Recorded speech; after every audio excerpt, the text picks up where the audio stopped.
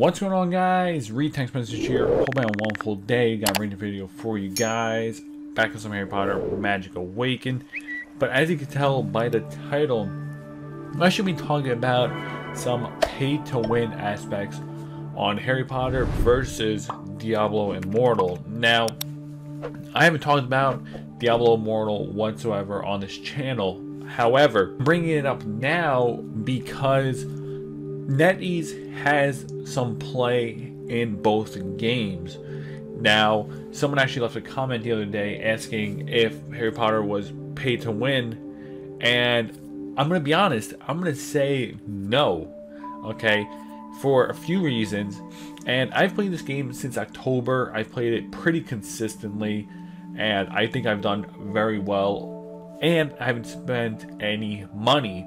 Now, that's not to say I won't spend money in the future when Global comes out. I probably will for content reasons.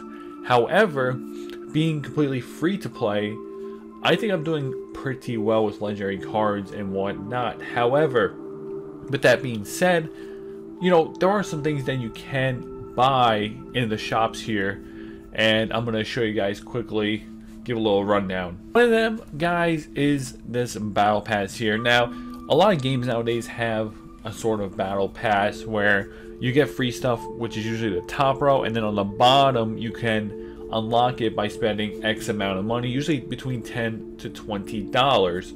Now I'm not gonna buy this on this game right now. When Global comes out, I will just to show you guys everything that you can unlock. So, you know, that will come when the time comes, of course, for Global. But yeah, guys, there is a battle pass that goes all the way up to 100, I believe. Actually, I haven't really checked this out. And it is going to stop at 100, and then you get that little prize there. But if we go ahead and click the bottom right there, it's going to cost you uh, 1480 for some tier skips or 880 for just a regular pass and that is your premium currency which you can't see right there but if we hit the, the plus right there. It's all laid out.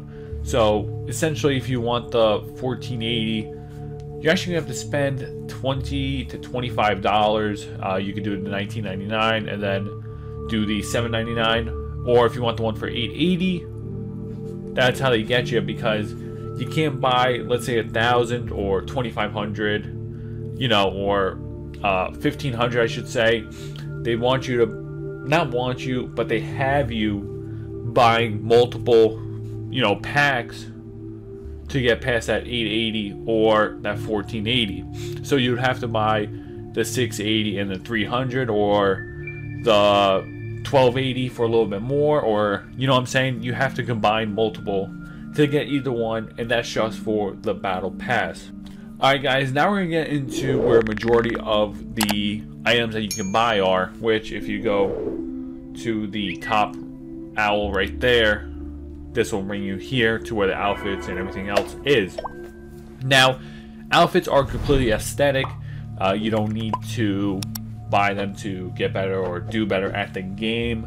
Some of them on sale, and once again, that 880 pops up. Now, I will buy outfits in the future just to show you guys for gameplay, you know, reasons and whatnot, but they don't help in game. Now, you scroll down a little bit more and see special deals and whatnot. Like this one here with the Hagrid card. Uh, you got library passes and other cards as well. This is where it starts to get a little iffy. But I will say this library passes are pretty easy to come by if you just play the game as you would. Every day when you log in, you get login rewards. I'm pretty sure you get a library pass right then and there. I've done a couple openings, uh, library pass openings. I think two or three of them where I've done, opened up like 40, 50 each, which just goes to show that you can get them if you play. And I don't even play that crazy. I really don't. But yeah, so you could buy some of these and get, you know, common cards and library passes in hopes to get legendaries. But if you grind out the game, you could get all that yourself. Trust, okay? Um, we're going to go down one more here, and this is where you get into the potions and the keys.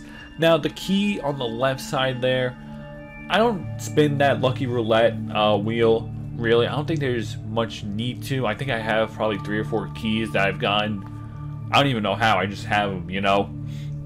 Uh, you have other things down here. You know, same type of ordeal. Uh, that's a legendary card, I believe, that you get in four epics. Now, when you're doing something like that, that's kind of pushing it to pay to win. You know, you start off early uh, in PvP or wherever you are, and you already have a legendary card because you decide to spend twenty dollars. You know what I'm saying? That's kind of something like that. Adding in the legendary cards, that's a little, eh. You know what I'm saying? If that makes any sense, guys. You know, two of them there. Uh, I don't know what kind of cards these are. I'm not going to translate. 45 library passes, which that's not necessary at all. It's really not, okay? I'm telling you right now. That is not necessary. But, uh, yeah, guys. So, they kind of throw in these little bundles and whatnot. You get the free thing on the bottom left. Uh, this here, the gold bars, you sort of get kind of, uh, not too easy, but, you know, they pop up enough to where you shouldn't have to buy them, okay? So overall, for pay to win on Harry Potter, I would probably say like a 5 out of 10. Okay? Honestly and truly. And that's me playing it pretty consistently, free to play only. I'd say 5 out of 10. Alright, now I want to talk about Diablo Immortal. I'm not going to show you guys in game or anything like that like I did with Harry Potter. I actually do play Diablo Immortal completely free to play. You know, pass by the nights and whatnot. But I want to show you guys and do this comparison because, like I said earlier in the video, they're both, they're both developed by NetEase. So some people may be a little worried that it may translate over. Now, as of right now, I'm going to say no, but anything can change, of course. Now, this is a huge thing with Diablo. It's getting a lot of backlash that it's completely pay to win. And I'm going to be honest with you guys. After a lot of what I've read and seen, I'm going to say yes. It is very, very pay to win. Now, just one instance here, uh, a streamer spent $4,000 and could not get a legendary gem where you could buy legendary cards in Harry Potter Magic Awaken for like 10 bucks, right? You can get that one card, the four cards, whatever. Okay, 45 library passes for 40, 50 bucks, right? So, something like this, when you're spending $4,000, that is very bad. And you're not even guaranteed nothing, okay? Harry Potter, you're kind of guaranteed, right? With those legendaries and those epics. Taking a chance with those library passes. But if you're spending 4000 you're not guaranteed nothing. That's a big no from me, dog, okay? 1000%. And it has a battle pass as well. So, it was on stream as well. Uh, they probably have a VOD of it somewhere. Uh, you need legendary gems to basically go through the game in these dungeons and whatnot, get better rewards, and after a while, you stop getting them for free. And I believe you have to spend $15 if we go to this one here for uh, these here. So you have legendary crest, and you get a few of those for free, so you have to buy more cash. And then a Dawning Echo to level up gems past certain level, and each one is $15. So yeah, guys. Basically, I kind of want to go more over the Harry Potter stuff because that's the main focus on my channel. Kind of just clear up some, you know, hopefully worries that some of you guys may have about the game. I'm going to say this one here, clear, 10 out of 10, pay to win. Harry Potter, like I said, 5 out of 10. The guys have nothing to worry about. You really don't. But yeah, guys, that's going to wrap up this video. If you guys did enjoy, be sure to drop a like, leave a comment down below, let me know your thoughts, and I'm out, guys. Have a wonderful day. Peace.